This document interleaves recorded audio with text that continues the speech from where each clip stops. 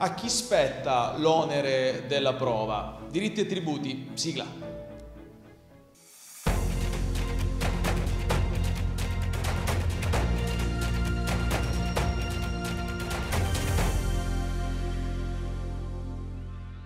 Abbiamo un peso enorme sulle spalle che finalmente ci siamo tolti. Ben trovato all'avvocato tributarista Alessandro Dagnino. Come sempre partiamo dalla nostra immagine con il contribuente, poverino, che si è portato appresso per quanti anni questo peso enorme.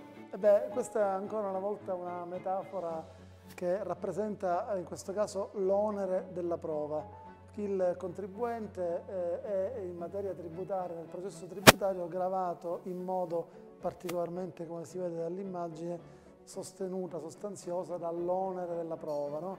L'onere della prova è una regola processuale molto importante che serve per prevenire che il, la, il rischio che le sentenze, quindi che i processi possano concludersi con delle sentenze, come si suol dire, di non liquet, cioè nel processo le parti devono ognuno provare i fatti a fondamento delle proprie domande, delle proprie richieste.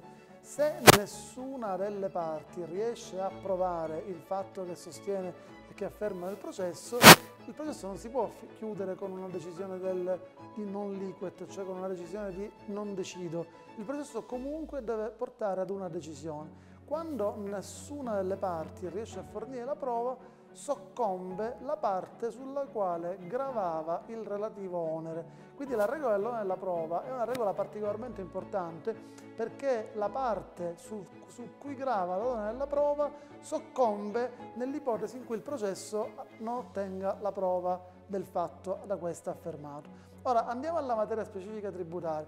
Nella materia, il, principio generale è quello contenuto dall'articolo 2697 del Codice Civile, che codifica una massima risalente al diritto romano, secondo cui onus probandi incumbit e equidicit, l'onere della prova grava su colui che afferma il fatto. Io dico che un fatto è esistito, devo dimostrarlo, non posso limitarmi a dire, il processo non ammette solo il dire. Cioè richiede... non posso lanciare la pietra e eh, ritirare la mano. Se dico una cosa devo provarla, eh, la parte ha l'onere di eh, provare i fatti che costituiscono il fondamento delle proprie domande. Quindi cosa avviene nella particolare materia tributaria? Che il ricorso introduttivo del giudizio è proposto dal contribuente, quindi il giudizio viene attivato dal contribuente. Solitamente nel processo civile la prova grava su chi? Sull'attore, perché l'attore che vuole qualcosa dal convenuto afferma che il convenuto deve dargli qualcosa, quindi deve dimostrare la fondatezza delle proprie domande, deve dimostrare il motivo per cui quel qualcosa deve essere dato, quella somma di denaro deve essere pagata, per cui c'è stato l'inadempimento di un contratto. Quindi di regola la prova grava sull'attore processo tributario il, il, giudizio è sempre incardinato dal contribuente che propone quindi l'atto introduttivo che nella materia tributaria si chiama ricorso. È vero che il giudizio viene introdotto dal contribuente, ma il contribuente introduce il giudizio per resistere ad una pretesa del fisco. Il giudizio viene introdotto per chiedere l'annullamento di un avviso da parte del fisco, di una cartella, di un avviso di accertamento, di una qualunque richiesta da parte del, da parte del fisco. Se il fisco non chiedesse qualcosa al contribuente, quest'ultimo non avrebbe nessun motivo di avviare il giudizio, starebbe bello tranquillo a farsi il suo lavoro. Quindi cosa abbiamo? Abbiamo una sorta di inversione delle parti, per cui il processo viene introdotto dal contribuente, ma il contribuente è convenuto in senso sostanziale. L'attore in senso sostanziale è invece l'Agenzia delle Entrate che ha lanciato la prima pietra dicendo mi devi dare questi soldi, il contribuente si attiva la causa ma lo attiva per resistere alla pretesa del fisco. Quindi la regola dovrebbe essere che il fisco deve sempre provare le ragioni della sua pretesa che ha generato la l'avvio del giudizio. Tuttavia la giurisprudenza della Corte di Cassazione negli anni ha un po' eh, smorzato, anzi ha notevolmente smorzato questo onere, questo principio dell'onere a carico della parte che è attrice sostanziale e ha detto che in realtà ciascuna delle parti deve provare i fatti a sé favorevoli. Quindi che cosa succede? Che il fisco, secondo la Corte di Cassazione, deve provare le, eh, gli elementi attivi, la deve provare il reddito. Se io ho un reddito, tu hai fatto un reddito, hai incassato 10.000 euro, ti devo dimostrare che quei 10.000 euro sono stati prodotti. Il contribuente deve dimostrare che cosa? I costi o gli elementi comunque passivi, gli elementi negativi che determinano una riduzione di quei 10.000 euro. Sì, è vero che ho fatto 10.000 euro di ricavi, però ho fatto anche 7.000 euro di costi, per esempio, quindi il mio reddito non è 10.000 ma è 3.000, no? quindi c'è questo tema. Per cui ciascuna delle parti deve collaborare. Il principio della collaborazione è un principio sacrosanto, è anche stabilito dall'articolo 88 del codice di processo civile, il principio di lealtà e probità delle parti nel processo, cioè le parti devono collaborare per l'accertamento della verità, non devono adottare comportamenti come dire soltanto volti a, a nascondersi o a trincerarsi dietro silenzi eccessivi, quindi non è mai accettato nel processo ormai diciamo da diversi anni quella strategia che un tempo veniva utilizzata per cui uno cerca di non dire, bisogna contribuire, ciascuno fa la sua Se parte. Se ho le prove devo portare. Esatto, ciascuno deve contribuire, deve fare la sua parte per consentire al giudice di accertare la verità. Però che cosa è accaduto? Che nella materia tributaria si è fatto largo uso delle presunzioni, cioè questo istituto delle presunzioni.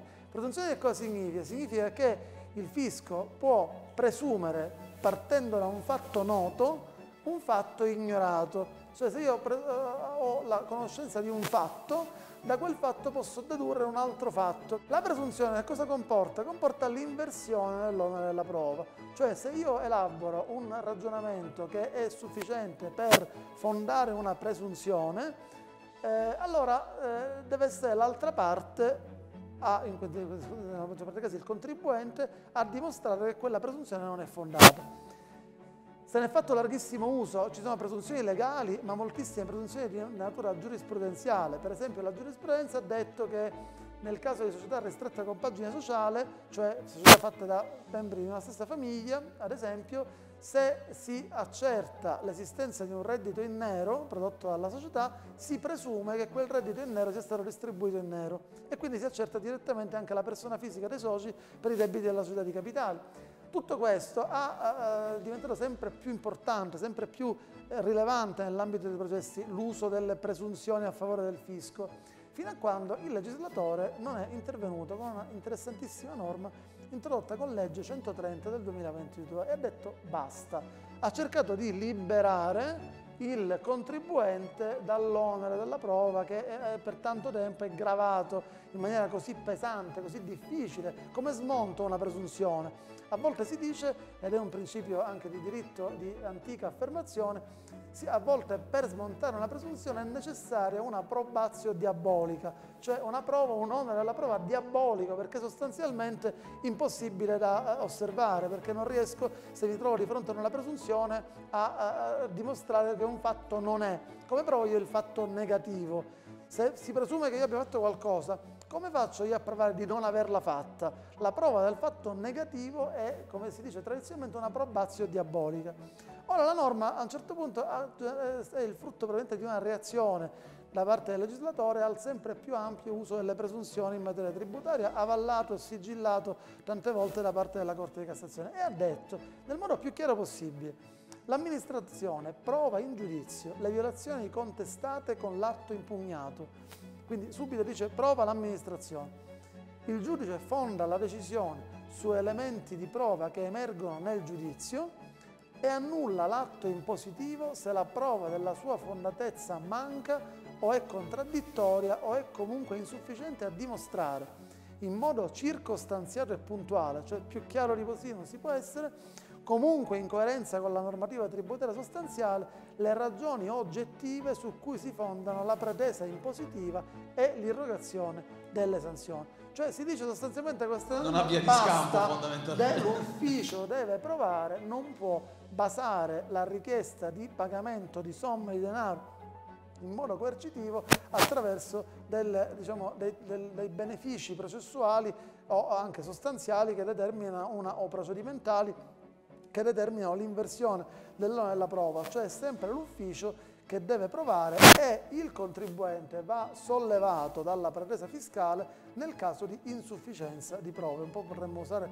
nel linguaggio penalistico si dice assoluzione per insufficienza di prove. Ecco, non si può condannare il contribuente se la prova non è una prova piena fornita dall'ufficio. Beh, tra puntuale, circostanziale e oggettiva mi pare esatto. che è esatto. più chiaro di così. In realtà non è così chiaro perché la giurisprudenza ha uh, già alcuni, eh, alcune pronunce contraddittorie da parte della giurisprudenza. Alcune sentenze hanno in un obito di, in, in degli obiter dicta, cioè in delle statuizioni incidentali che non erano l'oggetto della causa, ma come dire, tra le righe hanno detto che in realtà forse questa norma non cambia granché, ma come si fa a dire che non cambia granché se la norma è stata scritta nel modo più chiaro che si potesse tentare di eh, eh realizzare? E infatti eh, vi è già un contrasto da parte della giurisprudenza perché si registrano numerosi casi c'è una Corte di Giustizia Tributaria di Enna in Sicilia, ce n'è una di Reggio Emilia, ce n'è una di Treviso, che dicono per esempio l'ufficio deve provare in maniera completa e non può invertire l'onere della prova a carico del contribuente. Quindi speriamo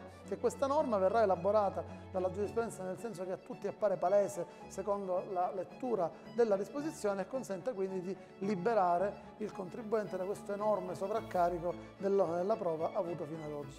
Grazie, grazie all'avvocato tributarista Alessandro Dagnino che il contribuente sia un po' più leggero da ora in avanti, questo ce lo auguriamo. Alla prossima.